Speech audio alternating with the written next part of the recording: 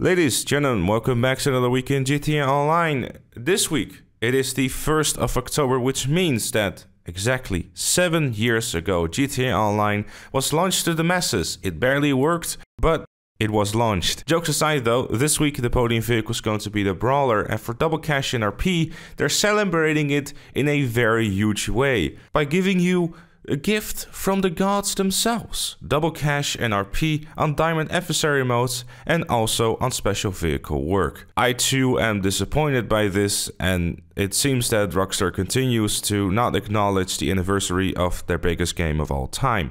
But hey, moving on to of course some spicy discounts because that's where stuff really gets better. And yes, that is sarcasm because there's 40% of CEO offices, 35% of vehicle warehouses, 40% of the ramp buggy, Phantom Wedge, Blazer Aqua, Rocket Voltic, and also, of course, the exact same vehicles that have been 50% off for 6 weeks now. Luckily though, there is Twitch Prime, but at the time of recording, we are not quite sure what actually is on discount for Twitch Prime, but if that happens to be known, I'll leave it a pinned comment down below.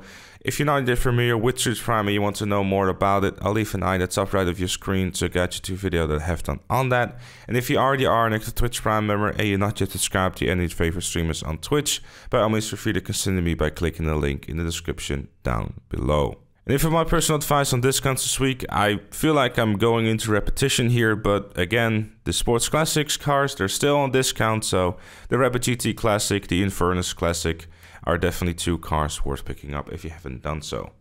Premium race for this week is going to be Art to Art Lock to Bikes. You definitely want to be using the Bati 801 for this one because you're definitely going to need as much top speed as you can as well as the regular time trial will be Great Ocean Highway, and the RC time trial will be Power Station. And as always, a quick and easy $100,000 for each of them if you manage to beat them.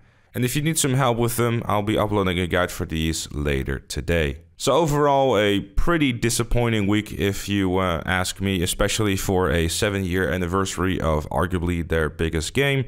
But you know what isn't disappointing? Becoming a YouTube member, like Ripstakes over here. Join him and all the other fellow members by clicking the join button down below. But with all that said and with all that done, that was it for this one. Thank you also very much for watching. Leave a like if you enjoyed, subscribe for more, and I'll see you all later.